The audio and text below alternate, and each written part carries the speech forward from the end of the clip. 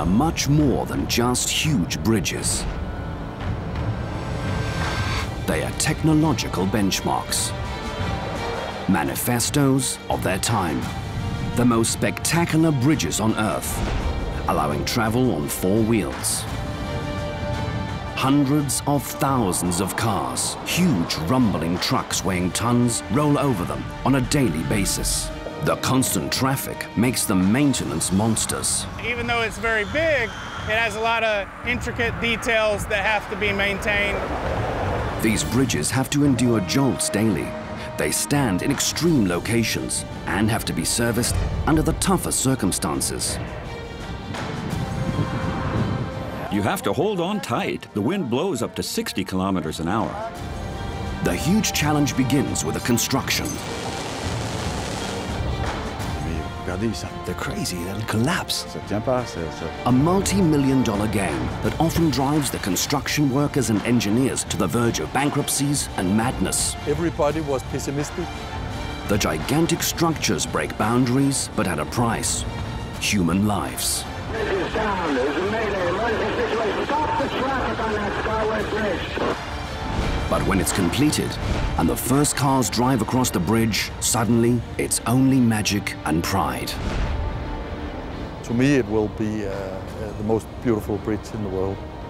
Huge constructions, roads sweeping across them. The secrets behind the gigantic architectural wonders and their daily maintenance challenge. Gigantic constructions, the most spectacular bridges in the world.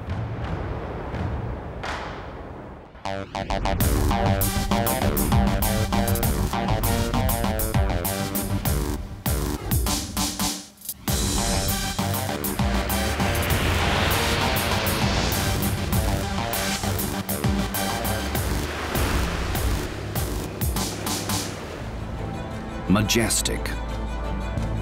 Gigantic. Iconic. No matter the superlative, it is justified. But without a few key milestones in the history of bridge building, these constructions would be completely unthinkable.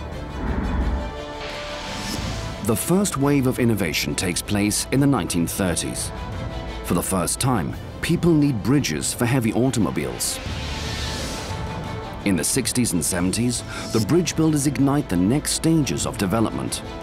No wonder, as car travel goes through the roof worldwide, with more new cars on the road than ever before. Further huge waves of innovation in bridge building construction make it possible to build ever higher, sturdier, and larger.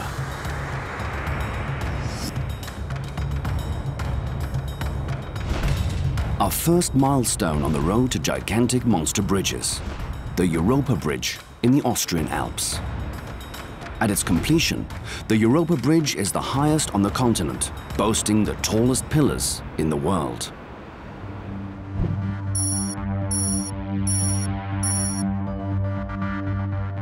The Europa Bridge is located north of Innsbruck in Austria.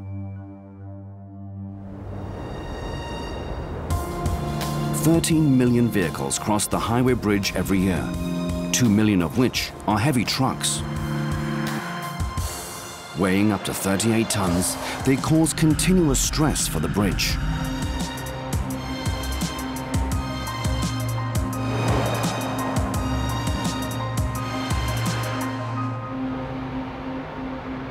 The Europa Bridge is the heart of the Brenner Highway, the main north-south transit route in Europe via the Alps. 190 meters above the Wipp Valley, the bridge has spanned the valley for over 50 years now. Prior to construction, the only way to reach the Brenner Pass was a small road, one lane each way, one winding road after another. Today, the journey takes you over five gigantic reinforced concrete pillars. The bridge core is a steel box girder it supports the roadway and is regularly checked for damage. With spans of up to 200 meters, the slightest material fatigue can lead to disaster. The bridge must undergo regular maintenance. Because of high traffic, the strain is enormous. Another problem is that the bridge is located in a strong wind stream. The fall wind comes from the mountains and can reach speeds of up to 150 kilometers per hour. Hurricane strength.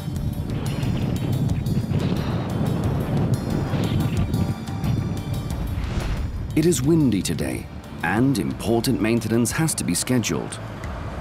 Bridge inspector Peter Augschöl and his colleague Dominic Leitner want to venture out over the parapet using this machine. Due to the strong winds, it is questionable if a check will be possible.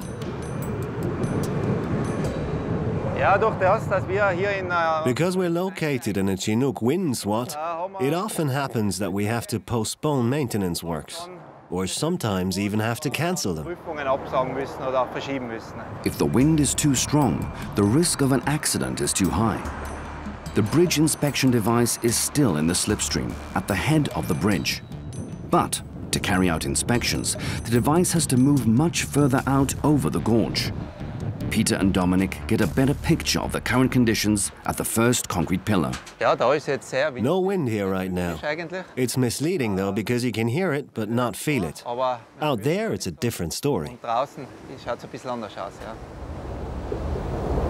Since the last inspection, the weather conditions have taken its toll on the concrete. Dominic Leitner and Peter Augschöl want to know the condition of the steel box girder. Provided the wind plays ball. The two inspectors take a chance and walk to the middle of the bridge. The wind is a lot stronger here, typical of the treacherous alpine region. You have to hold on as wind gusts up to 60 kilometers an hour out here. Device-wise, it's tricky. Some functions don't work at all at high wind speeds. We're restricted, or we have to abort. Not a chance. The winds are too strong. No inspection possible today. But due to the constant strain, regular inspections to the underside of the roadways are imperative. Strong gusty winds, extreme traffic and heavy vehicles. The bridge is more than 50 years old. Martin Kirchmeier, the current Europa Bridge Chief Inspector, sees the bridge as a small wonder of the world. We have here in Wipptal southerly wind gusts of up to 150 kilometers per hour, causing strong vibrations on the entire construction, making it all the more fascinating for us to think how our peers from decades ago managed to deal with such complex construction, but with much more modest technical capabilities. The almost 150 meter high concrete piers are hollow inside, like the hollow steel box girder. Everything is extremely streamlined. The bridge is one of the first structures where tests were carried out in the wind tunnel in order to avoid excessive vibrations and overloads, allowing the Europa Bridge to withstand at least 10 times more traffic than back when it was completed. We got lucky because in the 1960s, the calculation methods were not as precise as they are now. So the engineers had to add some reserve here and there. That has really helped us today.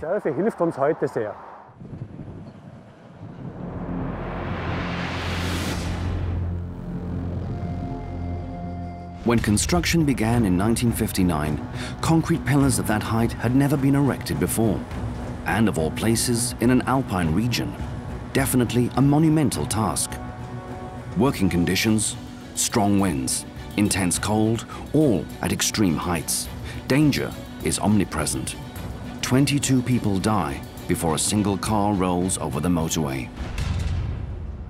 Two weeks after the failed mission, today the men want to go at it again, give it another try, assuming the weather is favorable.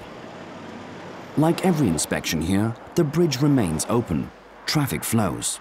Closing the bridge for any amount of time, unthinkable. For the inspection, only the right lane is closed.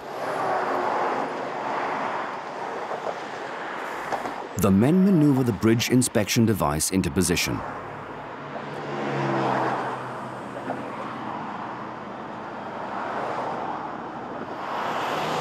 Whether the inspectors can check the road base today will only become clear once they have positioned the device in the middle of the bridge.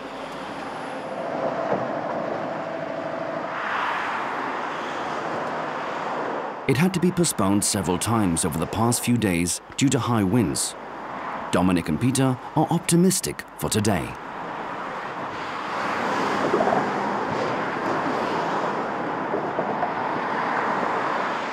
Ten kilometers an hour. We measure 10 kilometers an hour. In our business, that's practically wind still. Today we can use our device. Finally ready to go. 190 meters above the valley floor. Oh, servus Martin. Hi there. It's looking pretty good with the wind today.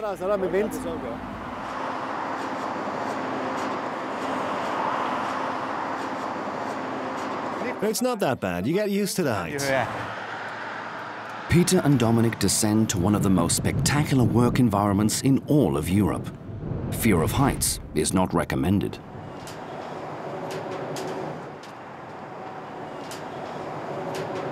The inspector's task to document damage and schedule repairs.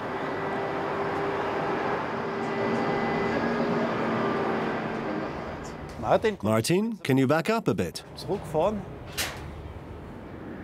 Zurückfahren. The box girder was widened 30 years ago, a spot where corrosion easily happens.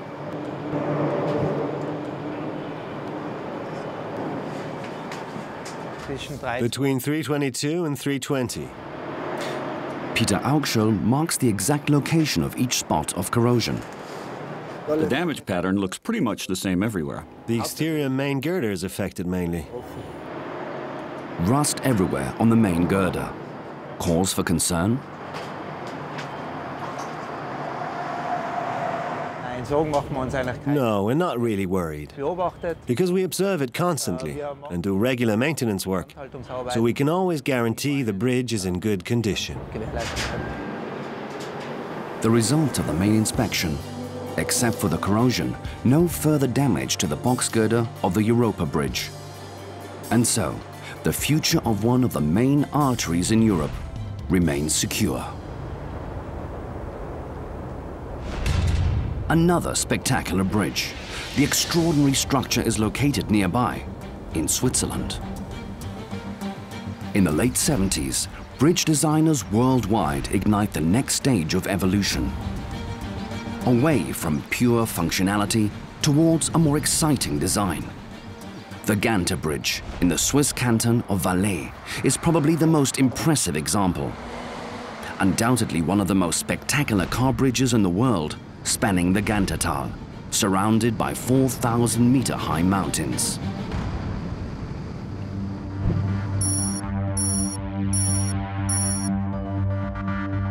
The Ganter Bridge is part of the Simplon Pass Road in southern Switzerland. Before the construction of the bridge, traffic wound its way along the rugged mountains, falling rocks a constant danger, resulting in many fatal accidents. The old bridge had served its time. Since 1980, traffic goes over the Ganter Bridge. Because of the mountainous terrain, countless bridges span the Swiss valleys, but the Ganter Bridge puts them all to shame. A complete overhaul of the bridge takes place every five years.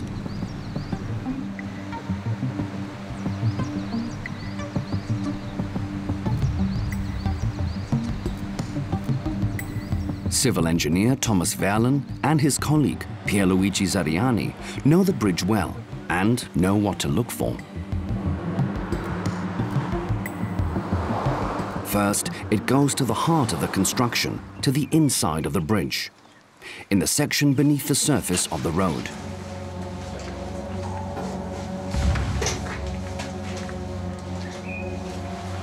Thomas and Pierluigi penetrate to the inside of the reinforced concrete box girder, to a spot that they noticed during the last inspection five years ago.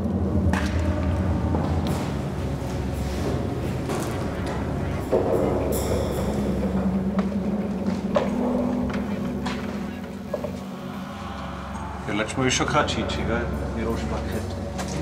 Čuva bijegsi. The steel reinforcement within the concrete is susceptible to corrosion. The inspectors want to ensure that no risk exists for the construction, since maximum safety is imperative. Es ist nicht schlimmer geworden. It hasn't gotten worse. There hasn't been more leakage, so the rust has not spread. Thomas Verlen is relieved. Only 10 years ago, the bridge was completely overhauled and renovated. As far as Thomas is concerned, this bridge is more than just a connection from A to B. The bridge is a bit of an accolade in the civil engineering profession. And if you are part of the project, involved, you're proud. These inspections are like an interactive visit to a museum, part of historical technology. You can see what is possible, what you can achieve. Construction work begins in 1976. The major challenge for the designers, the pillars, which are north of the valley. Because here the slope is not stable. On the contrary, it is slowly moving downward. Nevertheless, the pillars are supposed to permanently support 18,500 cubic meters of concrete and 2,000 tons of steel on a permanent basis. The architect is faced with a problem. How can he anchor these gigantic, almost 100 meter high pillars on a moving slope? Regardless, Professor Christian Menn accepts the challenge. He is the most famous bridge builder in Switzerland. With the Ganter Bridge, he wants to create his masterpiece. The geology is in fact very important for the Ganter Bridge. On one side, you've got rocks and cliffs. On the other side, the so-called scree, which are moraines. Very fine material that creeps, so you can't build the foundation there. Menn overlays the pillars in specially designed shafts that co-migrate with the slope. The pillars themselves remain on neoprene bearings, which rarely have to be readjusted on the sliding slope. The superstructure of the S-shaped road is reinforced with cast cable pulleys, a flexible anchor-bearing rigid superstructure, an ingenious combination. If the whole thing needs to be moved, then the superstructure and the carrier should be relatively stiff. In a cable-stayed bridge with fine girders, that is just not that stiff. And these stiffeners are used as well. The foundations are wider than the pillar and allow slope movements of up to 60 centimeters. Inspection of the bearings on which the pillars rest, one of the most important steps of the inspection.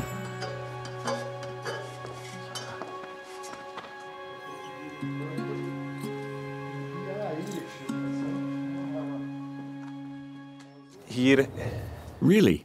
Here, you have two movements. You see that now. Right now, we are 17 centimeters from the zero position and 15 in this direction. In 1980, that was considered a sensational achievement. But the foundations are exposed to the extreme weather. Thomas and Pierluigi encounter damage which is considerably larger than in the bridge interior. Strong flaking. Now we have further spalling of the concrete, some two centimeters. The coverage can no longer be guaranteed, at least not in its entirety. And here at 1500 meters, there is ice, snow, and salt. And if we wouldn't do this, if we just wait for damage to happen, it gets more expensive and sometimes even irreparable. The special foundations are the backbone of the Ganter Bridge. They carry the main net burden and volume of traffic since its opening in 1980. The life expectancy of the structure depends on many factors. High up in the Alps, weather is a problem. That happens quite often. In some places, the outer layer is damaged, which protects the concrete from the road salt used against ice accumulation on the bridge. These sections definitely have to be repaired.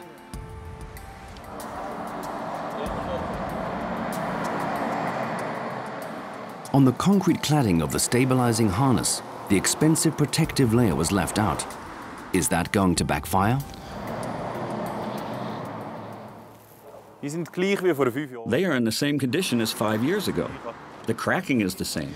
As you can see, we have the surface covered in fine cracks, like a net.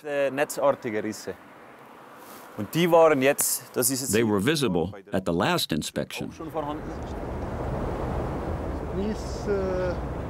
After two days of inspection, Thomas Verlen gets a first impression of the condition of Ganter Bridge.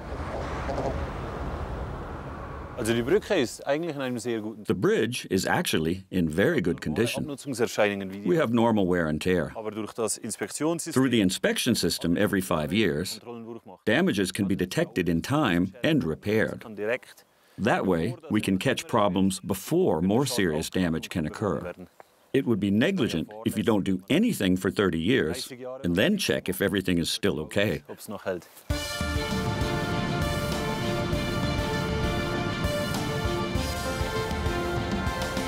The Ganter Bridge, an outstanding example of architecture, a monument to Swiss engineering. Nowhere has a balance between function and form been found and so impressively realized as at the beginning of the 1980s. Later, bridge designers overseas pushed the envelope to reach new limits as well. The Sunshine Skyway Bridge in Florida represents new cable stay design and is the longest bridge in the Western Hemisphere.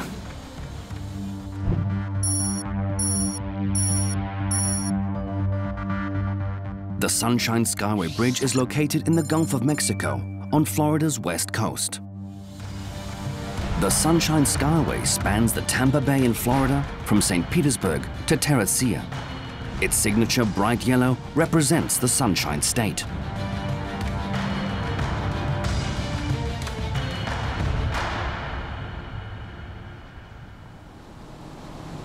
6 a.m.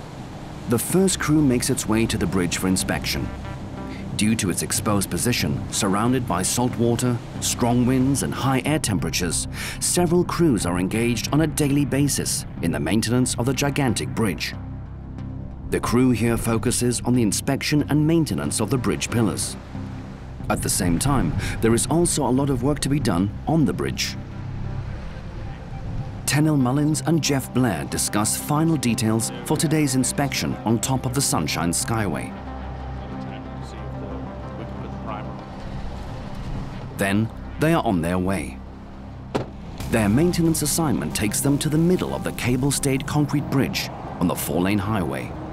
Between St. Petersburg and Terra Ceia, more than 50,000 vehicles cross the bridge each day, Tenniel Mullins has been working for years together with his boys, making sure the bridge withstands the fatigue that comes with high volume traffic.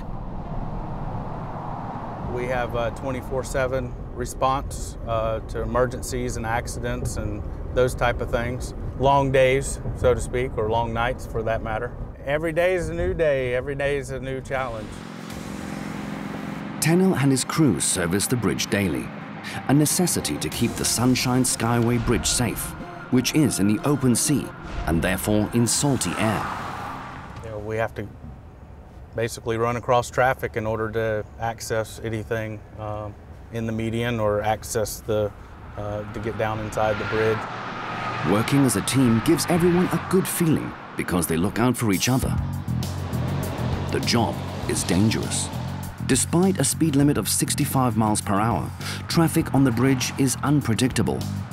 Maneuverability is limited on the bridge because you've got the ocean on either side. You always got to be careful. I mean, you know, it's not too scary if, if, if you're watching what you're doing. You always have to watch out and get a, a big head start on it. To get to the stay cables, the workers must find a gap in the middle of rush hour traffic on the highway. And that may take time.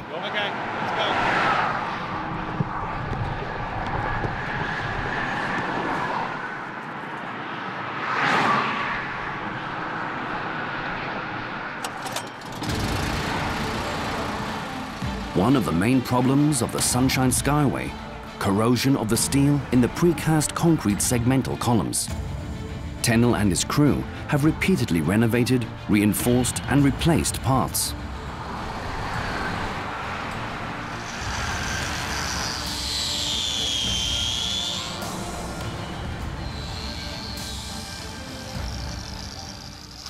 A bridge this size has a lot of, even though it's very big, it has a lot of intricate details that have to be maintained and watched after. The bridge is constantly being serviced by the crew, an imperative requirement due to the salty air. But that is not the only danger in the Gulf of Mexico. A cautionary tale. The previous bridge, which stood in almost the same spot, was rammed by a ship in 1980. 366 meters of the bridge crash into the sea, along with six cars and a Greyhound bus. Mayday, mayday, mayday, Coast Guard. Mayday, mayday, mayday, Coast Guard. Vessel calling, mayday, vessel in distress. This is United States Coast Guard. The Skyway Bridge is down. Get all emergency equipment out to the Skyway Bridge. The Skyway Bridge is down. There's a mayday, emergency situation. Stop the traffic on that Skyway Bridge. 35 people drowned in the bay. Only the respective end segments of the old bridge are left, vigils of the past. The new Sunshine Skyway Bridge is completed only seven years after the accident. The two main pillars upon which the pylons rest are protected by round man-made islands called dolphins.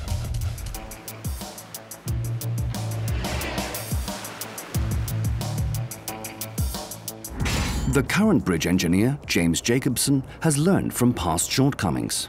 We wanted to make sure that this would never happen again. So the new bridge was built with much stronger uh, pier protection, uh, these islands surrounding it that will protect the, the bridge from being hit in the future by any other ships. In addition, the main pilings are surrounded by rock islands with large boulders that would stop a ship from ever being able to hit the, uh, the main columns again. The cable stayed design allows wider ship's passage and a better redistribution of forces, even in heavy seas, strong winds and hurricanes. The bridge won't be hit directly because of the small islands which are made of coarse gravel, covered with a steel protective layer, and extend into the seabed of the Tampa Bay to protect the pillars from all sides. Many workers working in harsh conditions, uh, below the water level in these caissons that were driven deep into the bay bottom. And then as the bridge was brought up, they were working high above the bay, uh, you know, adding these pieces together until it finally connected in the middle, and then the bridge was complete. Safety during the construction of the new bridge has top priority. The choice of design demonstrates this. It is constructed of concrete and steel cables running along the center line of the bridge, supporting the main span. It was designed by the Figg and Muller Engineering Group and built by the American Bridge Company. Thanks to the round shape of the protective islands, the initial impact of a ship collision can be dealt with, but also the direction of the vessel is changed. It bounces off the side and thus the impact to the island is reduced.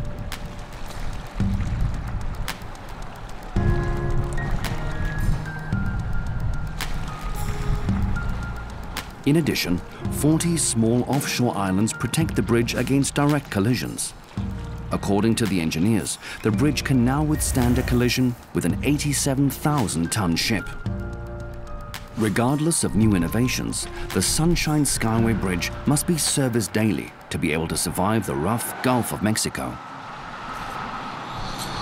Tenel Mullin and his crew know that theirs is a never-ending job, but he loves it.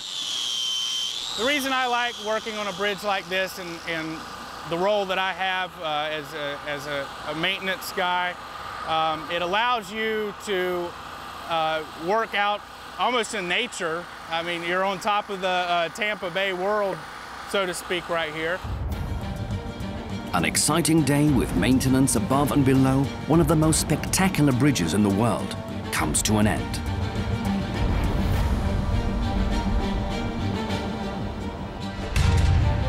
Another exceptional sea bridge requiring high maintenance can be found in Northern Europe. It is Europe's longest bridge. We're not just saying that, because this bridge is really long, incredibly long, long enough to connect two countries.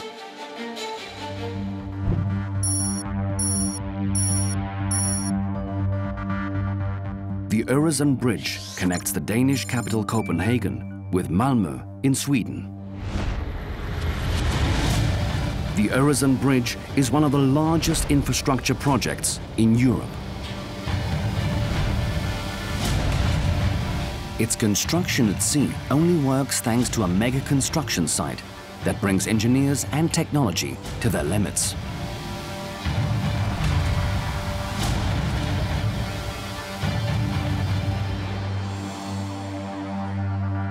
Seven a.m.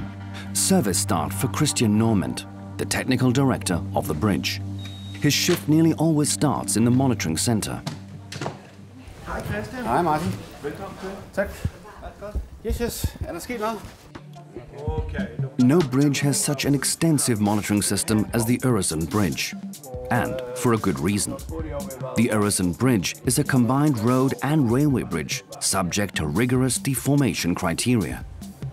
Traffic loads and weather information must be constantly measured and evaluated in order to identify potential hazards, such as this traffic collision early on. The Øresund Bridge is the longest cable-stayed bridge in the world, which carries both four traffic lanes and two railroad tracks. A total of 30,000 sensors and 256 cameras not only collect data on traffic and weather, but also take measurements prior to the vibration effects of the stay cables. The nearby Danish airport also requires the highest safety standards. Christian Norman scans the entire system and gets a disturbing warning. A sensor in one of the tunnels leading to the bridge reports an error. If the whole system is not working, we cannot uh, hold the temperature down in the portal building. And if the temperature is going to rise, uh, the electrical systems could overheat and there will be much uh, bigger problem afterwards. The worst problem uh, would be that something had happened with the ventilator. Christian immediately makes his way to the site. On a day like today, the maintenance team is already on alert. During bad weather, the tunnel managers monitor the situation around the bridge very carefully. If the wind picks up and develops into a strong storm, it may even be the case that they have to temporarily close the bridge. Christian has arrived at the well-secured electronic heart of the Øresund Bridge. The entire electrical engineering system comes together here one of the main components of the 1 billion euro construction project. The Øresund Bridge is one of the most monitored bridges in the world. Countless kilometers of cables and wires run together underground. Pinpointing the cause for concern is often like trying to find a needle in a haystack. Now I have to find out if we have a signal here. The signal set is open so I have to try to adjust it a little bit. This time Christian finds the error in the cooling and ventilation system of the tunnel unusually fast. Off signal. And now we have the signal on. It means that we have one fault less, yeah. The Øresund Bridge. The gigantic construction now makes it possible to drive overland from continental Europe to Scandinavia and vice versa. Every day, 19,000 vehicles and 200 trains use the bridge. But until then, it is a long and difficult road at the start of construction in 1995. In the middle of the sea, a four kilometer long artificial island is built. One of the bridge ends will finish there so that the approach path of the Copenhagen airport is not disturbed by bridge elements. Construction manager Lars Pedersen has struggled from the outset with a lot of resistance.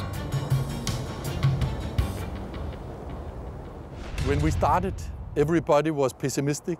People were concerned about the economy. People were concerned about the, the, the time schedule and the environment. But it showed out that the ugly duckling became a, a beautiful swan uh, in all regards. The strategy of Lars Pedersen and his colleagues to finish 90% on land and then transport it by floating cranes out to sea rather than assemble it on site. The plan works, and the project manages to keep within the set time frame. There was uh, a lot of protests also during the construction, but uh, it showed out that there were solutions to things. To me, the Öresund Bridge uh, means something very special, and to me, it will be uh, uh, the most beautiful bridge in the world. The over 7.8 kilometer long bridge spanning the Öresund Sea between Sweden and Denmark is a maintenance monster.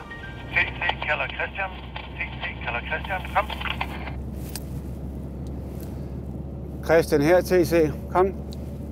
Warning light. Der er gået i stykker ude i Vestre Bylå. Oppe i toppen, det er altså oppe på 203 meters højde. We have a problem on the um, northwest pylon with the aircraft warning lights. So we have to make a quick stop and go up to see what the problem is because it's not flashing. It has to work 24-7. Öresund Bridge is only five kilometers away from Copenhagen Airport, and air traffic cannot be compromised under any circumstances. This is also the reason why one end of the bridge disappears into a tunnel.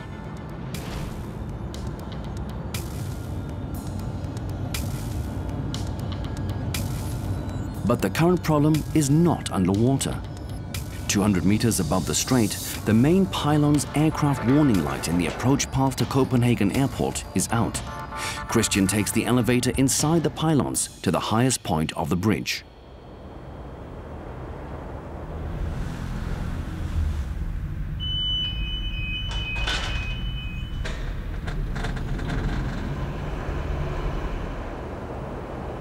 Normally, not only the left and center warning lights must flash, but also the right one. It's obviously defective. The problem is pinpointed. A protective control has temporarily shut down the light. Christian has the problem under control in no time.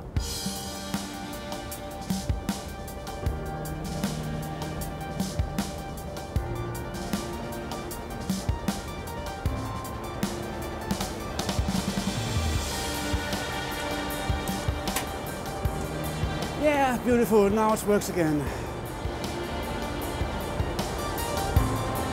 And while one is up here, why not take a few minutes to enjoy the breathtaking scenery? It has been that since I've been starting working here. It is so great and so big and everything. Everybody's out here that works here are great people. So it's uh, the best job I can get.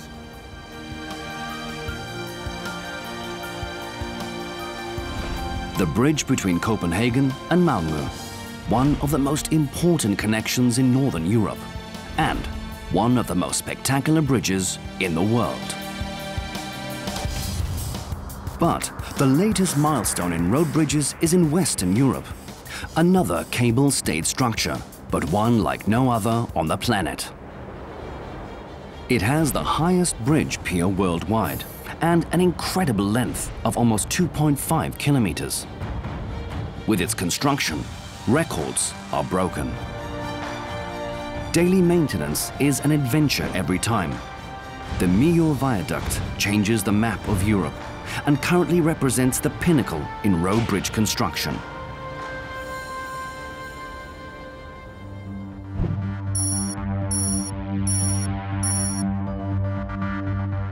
The Millau Viaduct is located in the south of France. The Millau Viaduct in France, a bridge of superlatives. It has been built to withstand hurricanes and earthquakes. It represents a benchmark in cable-stayed construction. Seven pylons elevate the highway of the viaduct to a height of up to 245 meters over the valley as tall as a skyscraper, built in stages. The pylons of steel reduce the overall load, making it possible for a minimum of stay cables that distribute the bridge load over 14 fields.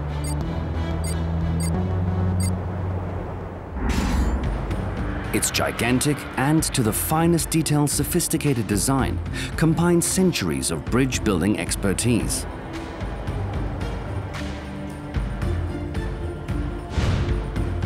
With its spectacular dimensions, the Millau Viaduct demands everything from its engineers. For 12 years, the French argue about the optimal solution in terms of aesthetics and feasibility.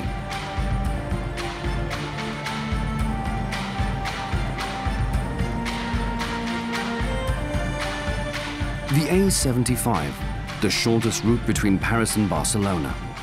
One of the main arteries of Europe. The most spectacular part of the highway runs through the Tarn Valley. Life before the viaduct meant winding roads and hairpin turns through the valley, slow-moving traffic and frequent traffic jams, often a journey of up to two hours.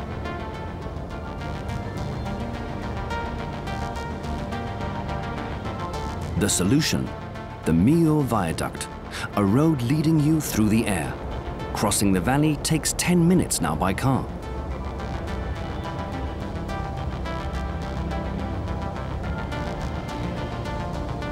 In 2004, the bridge is finally completed, a milestone in bridge construction. Every pylon is supported by a total of 22 struts or stays, 11 on each side. Inside the stay, there are steel cables. The tallest pylon measures 343 meters from the ground to the top. The Eiffel Tower easily fits underneath the spectacular construction. High pylons, wide spans. Not only is the construction ambitious, so is regular maintenance.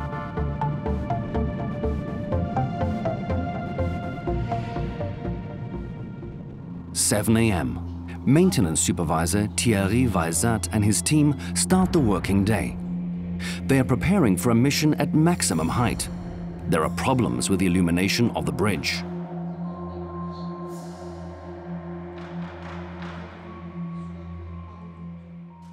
Euh, Thierry pour François, tu peux monter au PC Can you come, please? We have a problem on top of P2.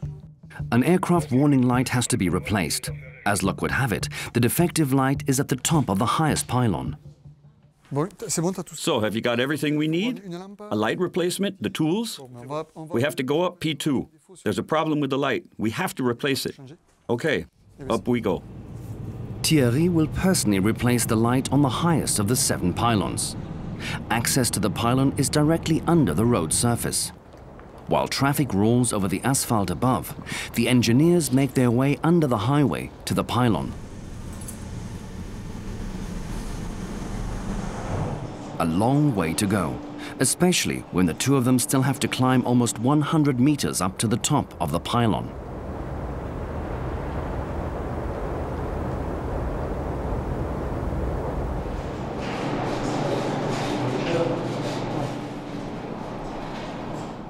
So here, we've got to go up pylon number two. That is physically very strenuous. After all, it is 87 meters up there. The long and difficult ascent begins. 87 meters, and only by ladder. The men climb up in pairs in case of an accident. Each pile is hexagonal and extends below the bridge deck 90 meters. In the upper part, it branches out into two pillars.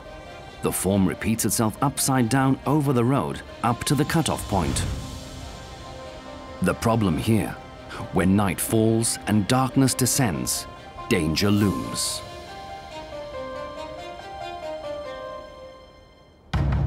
The airport Rodez-Marcillac is only 60 kilometers away from the bridge. Aircraft taking off and landing have to be able to see the viaduct. This is why aircraft warning lights are set at the top of the pylons. Should these lights fail, it could be disastrous for the aircraft. To make sure this doesn't happen, the bridge's permanent maintenance team regularly replace these bulbs. They don't wait until they actually fail, but monitor the bulb's service life and replace them before they go out. Thierry and his colleagues have been fighting their way up the pylon for half an hour. And today, it just happens that the warning light on P2, the tallest pylon, has to be replaced. Reaching the top, Thierry must venture out into the open. A small platform at a dizzying height of 343 meters up in the air. Here is the aircraft warning light. The bulb must be replaced by the two engineers. But first, the great view compensates for all that climbing. Climbing to the top of the pylon still always produces a special feeling. There's this incredible view. Now begins the trickiest part of the job for Thierry and his colleague. At 343 meters, every move must be precise. The tiniest mistake could be fatal. Whatever falls from up here lands on the highway like a speeding bullet. We are always very focused when we work. We have to be extremely careful that nothing slips out of our grasp and falls. Up on the platform on bad days, there can be wind speeds of up to 200 kilometers per hour. And if a bulb is defective, the men have to climb up there regardless.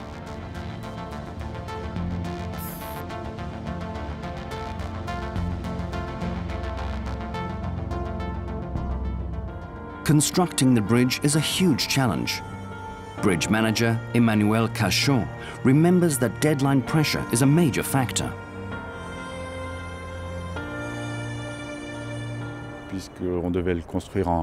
We had three years to build the bridge.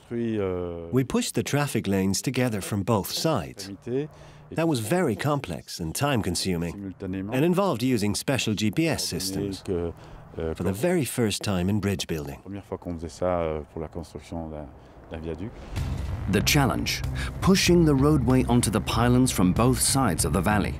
Meter for meter, hydraulic systems guided both ends onto each other. And all that at a height of up to 245 meters.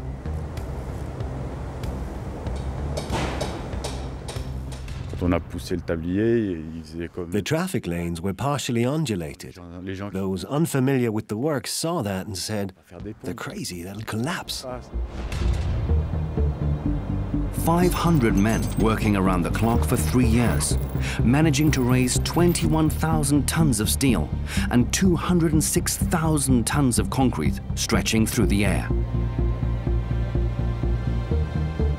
December the 14th, 2004. It is complete, an historic day.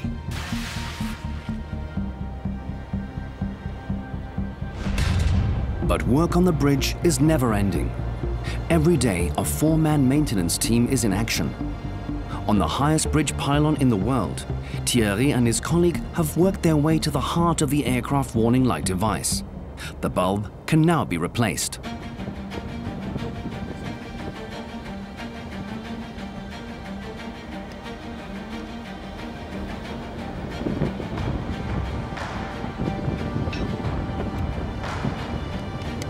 The view makes up for the stress. When the job's done, it's great to have this amazing view. That makes up for some of the effort, doesn't it, Francois? Yes, the ascent is always pretty difficult, but when you're up there, it's simply beautiful. The end of a successful working day in what must be one of the most spectacular workplaces ever. On top of the tallest bridge pylon on the Millau Viaduct, one of the most spectacular bridges in the world.